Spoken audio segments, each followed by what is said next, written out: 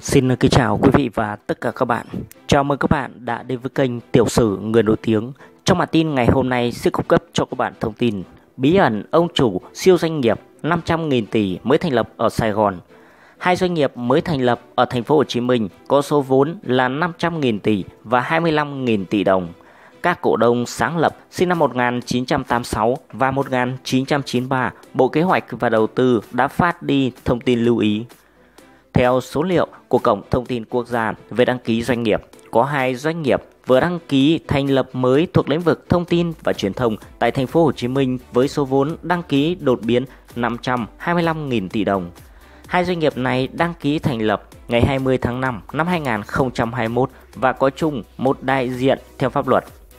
Thông tin từ Cổng Thông tin Quốc gia về đăng ký doanh nghiệp cho thấy Hai doanh nghiệp này có vốn điều lệ đăng ký rất lớn, đó là công ty cổ phần Tập đoàn Kinh doanh Tự động Toàn cầu với vốn điều lệ 25.000 tỷ đồng và công ty cổ phần Tập đoàn Đầu tư Công nghệ Tự động Toàn cầu vốn điều lệ lên tới 500.000 tỷ đồng, lớn hơn vốn điều lệ Tập đoàn Điện lực Việt Nam, Viettel và hầu hết tập đoàn lớn ở Việt Nam.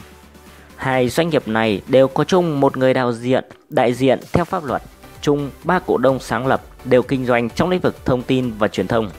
Theo đó, người đại diện pháp luật là ông Nguyễn Vũ Quốc Anh, sinh năm 1986, địa chỉ thường trú tại thành phố Thủ Đức, thành phố Hồ Chí Minh.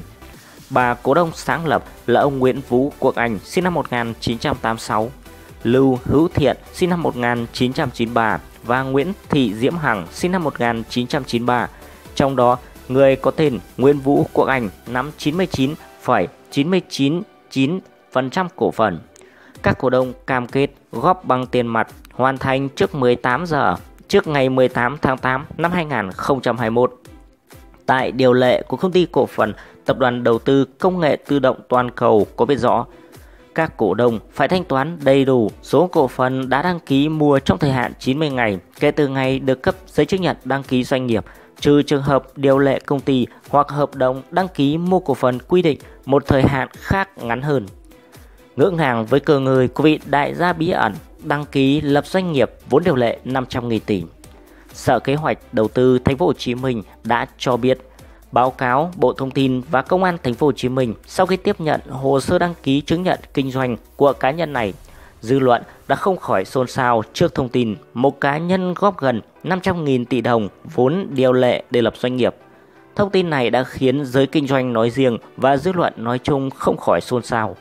Theo thông tin từ Cộng thông tin quốc gia về đăng ký doanh nghiệp, trong ngày 20 tháng 5, doanh nghiệp có tên Công ty cổ phần đầu tư công nghệ tự động toàn cầu đăng ký thành lập mới tại thành phố Hồ Chí Minh, vốn điều lệ lên tới 500.000 tỷ đồng.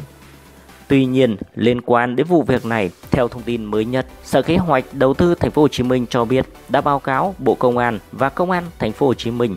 sau khi tiếp nhận hồ sơ đăng ký chứng nhận kinh doanh của cá nhân này.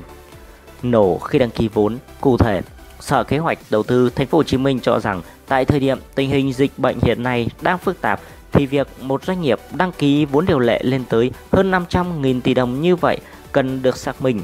nếu như việc đăng ký vốn của doanh nghiệp là sự cố tình làm sai để đùa giỡn pháp luật là rất vô ý thức nên cần thiết phải báo cáo Bộ Công an và Công an thành phố Hồ Chí Minh để xác minh xử lý theo quy định. Thông tin trên báo Tiền Phong cho biết.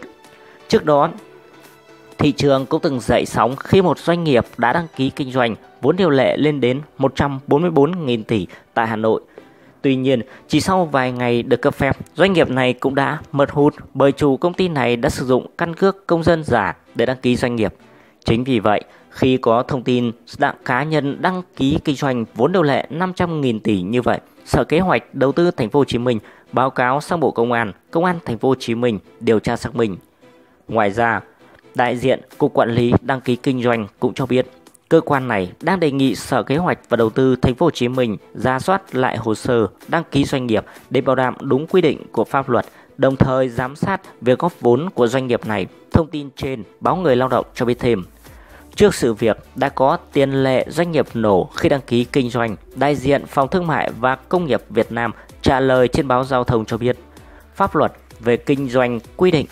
thông tin đăng ký phải trung thực, luật doanh nghiệp sửa đổi khuyến khích người dân bỏ vốn kinh doanh và tự kê khai trung thực. Riêng một số ngành nghề có điều kiện như ngân hàng, bảo hiểm phải đáp ứng được một số điều kiện, trong đó có số vốn tối thiểu. Nếu doanh nghiệp cố tình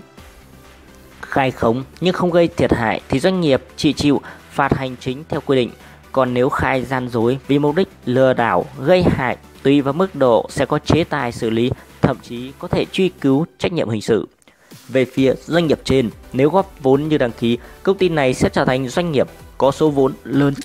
nhất Việt Nam, vượt qua tất cả các doanh nghiệp đang hoạt động hiện tại như Tập đoàn Điện lực Việt Nam, Viettel và hầu hết các tập đoàn lớn khác ở Việt Nam. Cảm ơn các bạn quan tâm theo dõi. Các bạn đừng quên bấm like, đăng ký kênh để ủng hộ chúng tôi.